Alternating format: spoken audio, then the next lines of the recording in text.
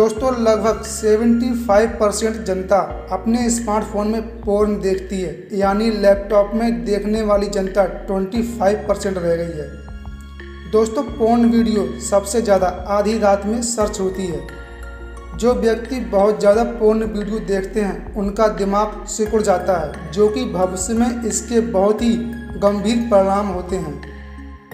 Porn देखने वाले व्यक्ति को कभी संतुष्टि नहीं मिल पाती। जिसके चलते वह व्यक्ति बात बात पर गुस्सा करने लगता है।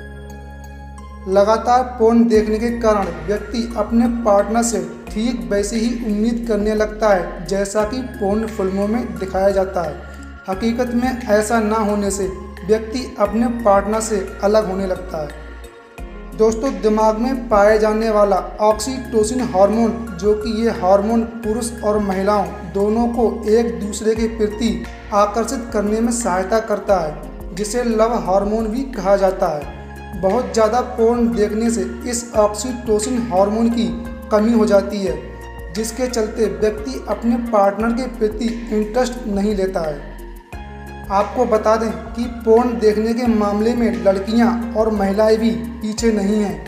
खाली टाइम में, रात में ये भी पोर्न वीडियो देखती हैं। जो व्यक्ति सेक्स को पोर्न फ़िल्मों की तरह करने की सोचते हैं, वे व्यक्ति जल्दी जल्दी में अलग अलग पोजीशन को करने की कोशिश करते हैं, जिससे वह फोर प्ले ठीक ढंग से नहीं कर पाते।